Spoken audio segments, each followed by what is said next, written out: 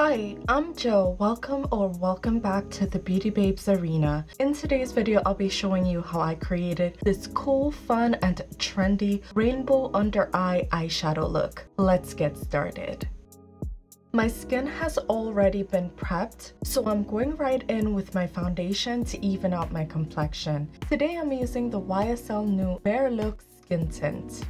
This look is inspired by the talented at Naezrah Looks. I'll leave her IG handle in my description box below. Go check her out. I wanted to see how or if this eyeshadow placement would suit me. Similar to my lack of eyelid space, I don't have as much to work with under my eyes either, but I'm determined to give it a go. To conceal, I'm using the Too Faced Born This Way concealer to hide any imperfections below my eyes and eyelid, as well as highlight the center of my face. For contour, as usual, I'm using my Westman Atelier Face Trace Stick in the shade Truffle. I'm obsessed with this product, it's so good. I'll blend everything in with my Beauty Blender.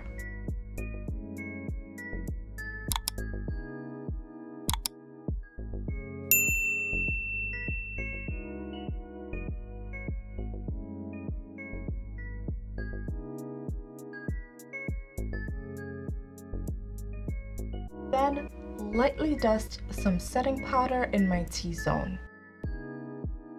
To set my lids, I'm using the Viseart number 10 Warm Matte, taking this color all the way to the brow bone.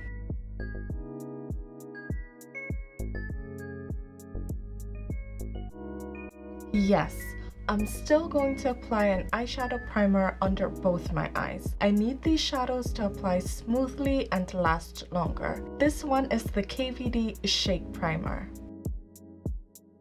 Next, I'm using my NYX Jumbo Eye Pencil in Milk as a base to really make these bright colors pop. I'll begin placing it in my inner corners, below my eyes, and the outer corners. This formula is a bit tacky, which allows the eyeshadows to adhere perfectly.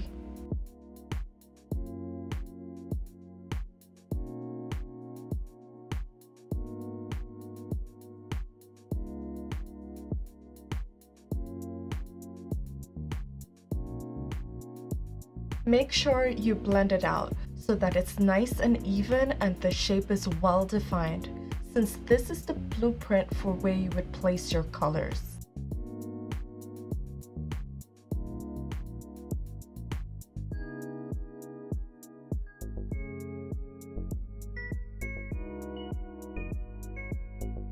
I'm using the Jeffree Star Jawbreaker palette to nail this look today. With the shade Gumdrop, I'll highlight my inner corners. This is one of the few colorful palettes that I own. These pigments are really good quality. I'll place the shade Brain Freeze next to the color that I previously laid down.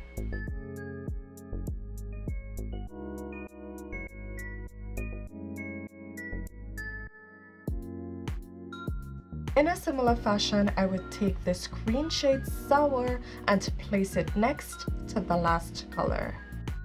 You want to have a beautiful blend between each shade. Wherever they meet, a gradient is created with each added pigment. Next up is Wool, which is a vibrant sunny yellow.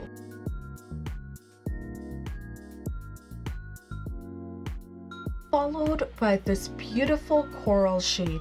I'm using a smaller blending brush as I approach the outer corner of my eye to ensure precise placement.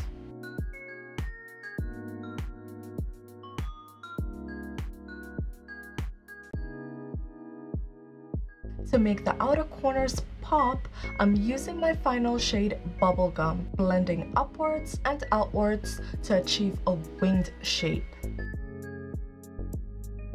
With a clean brush, I'll blend the base of the colors for a soft, blown out effect.